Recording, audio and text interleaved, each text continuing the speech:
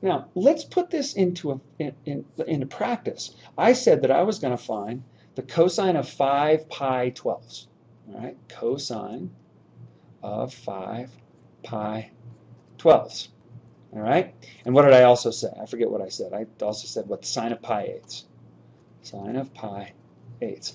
Now, we've got our rules over here, and I may be flashing back and forth here. Now, let's think about this. How am I going to be able, what is 5 pi 12ths? I have to write it as a sum of something in terms of sixths or fourths or whatever. Now, for me, this is always a fun little trick because I know I've got 12ths, all right? And I know that I can only play with pi sixths, pi fourths, pi halves, pi thirds. So I'm going to start thinking to myself here. I'm going to put a fourth here and a third here. Why? Because their product is 12ths. And these are terms that I know how to deal with, right? I know what they are. Remember, at the end of the day, when I use this formula, I'm going to use the cosine of alpha and the cosine of beta and the sine of alpha and the sine of beta. I'm just going to simply define this guy up here as alpha and this guy down here as beta. But I do have to think this through. Oh, let's see. If I simply did pi fourths plus pi thirds, that would give me what, 7 pi 12ths? Hmm, well, what can I do? What do you think? I need a 5. How can I build a 5? Can I do it with these two guys? All right, well, I don't know. Let's play. How about pi fourths, right, minus 2 pi thirds. Does that work? That'll give me a 3 pi minus 8 pi. Ooh, ooh, ooh, wait, 3 pi, right? If I find a common denominator, let's put that over here. I'll end up with 3 pi twelfths minus 8 pi twelfths. Hey, wait a sec. What is that? Whoops, that's supposed to be 3, right? Look at that. That's a negative 5 pi twelfths. Whoa, whoa, whoa. Oh, all I got to do is flip them.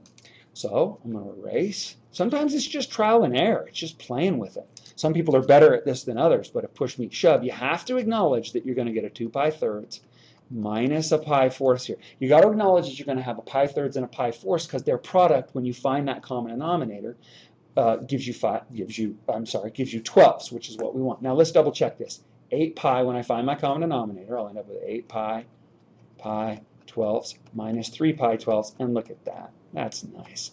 All right, that's pretty cool. And of 5 pi 12ths. All right, now I'm just off to the races. I'm going to erase this sine of pi eighths because it's just going to be in my way. We'll, we'll deal with that one here in just a sec. All right, so what does that thing equal? Well, according to my formula, this is alpha and beta. This is going to give me cosine of 2 pi thirds times the cosine of pi fourths plus the sine of 2 pi thirds times the sine of pi fourths. Now I just go to my happy place and I remember my values. Well, the cosine of pi thirds is 1 half, but you know, I've always got in the back of my, my head, all students take calculus, right? 2 pi thirds is in the second quadrant, and cosine's negative over there, so the cosine of 2 pi thirds is going to be what? Negative a half. Well, that's cool negative 1 half times cosine of pi fourths, that's easy. That's a freebie. That's one of the fantastic fives, right? That's uh, root 2 over 2.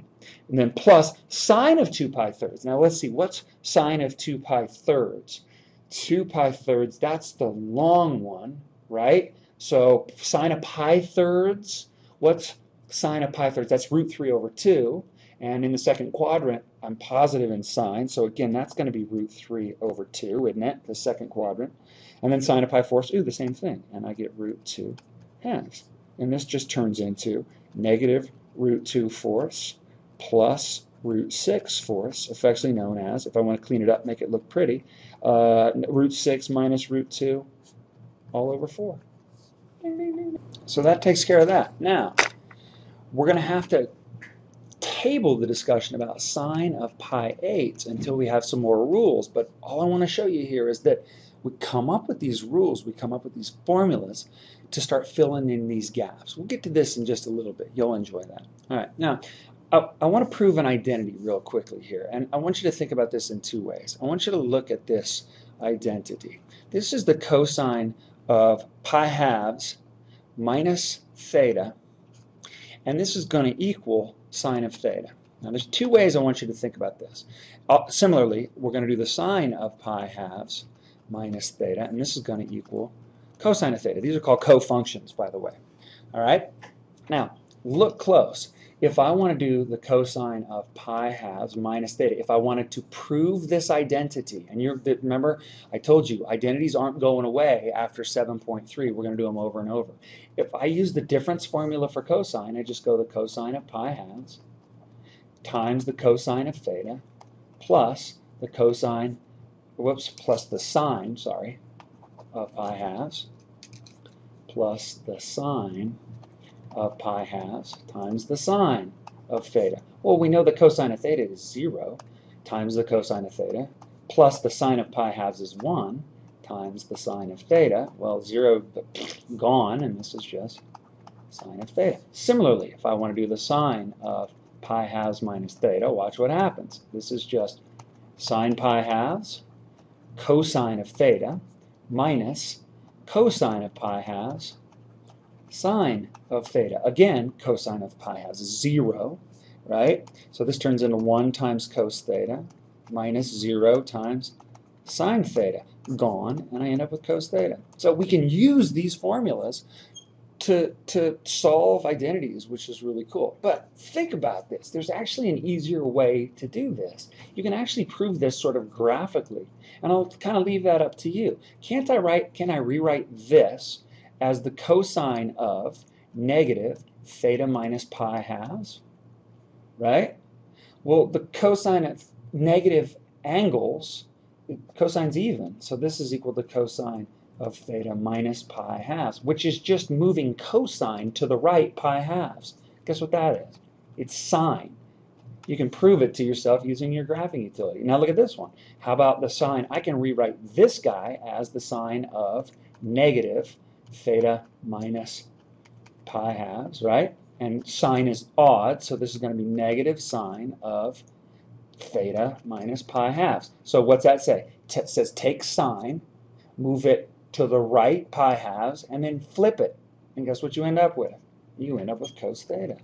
So that's a way of thinking. This is a way of thinking algebraically up here. This is a way of thinking graphically. I want you to be able to translate those ideas graphically, algebraically, numerically, all of those good things. All right, let's do let's let's go ahead punch off one more thing and then we're all done with this section. All right, let's do tangent of alpha plus beta. Real simple. This one's a piece of cake because I know that the tangent of alpha plus beta is just the sine of alpha plus beta divided by the cosine of alpha plus beta. All right? And I already have, I know what these are. Now, I'm going to do something clever. I'm going to leave myself a little space to be able to do this. This is sine of alpha cos of beta plus the sine of beta and the cosine of alpha. Now, I'm going to leave myself some space to do something funky. And then on the bottom, I'm going to get cos alpha uh, cos beta minus uh, sine alpha sine beta. Now remember, I can do whatever I want, sine of beta, in a fraction, as long as I multiply by 1. Well, what that really is going to amount to in this case, what I'm going to do is I'm going to divide everything by, I'm going to just, for giggles, I'm going to do cos alpha, cos beta, top and bottom, okay? Cos alpha, cos beta, cos alpha. Oh, I'm going to run out of room. That's all right. Cos beta. Now you may say, Ripley, why in God's name did you do that? Well, really what I'm trying to do here is I want the equation for the tan of a sum to be in terms of tangents. Okay? That's what I want it to be. I don't want it in terms of sines and coses. So we want to be able to just throw tangents in there. Now watch what happens here. I'm going to do this kind of in, kind of quickly. Cosine betas cancel, right? This is a common denominator, so I get to use it in both directions. And I'm left on the left with a sine alpha over cos alpha, which is just tan alpha. Now, on the right, I'll do this with a red, that cos alpha and that cos alpha cancel, and I'm left with a sine beta over cos beta, which last I checked was tan beta. In the denominator, look, look what happens. Cos alpha, cos beta, that cancels with that, and I'm left with a 1.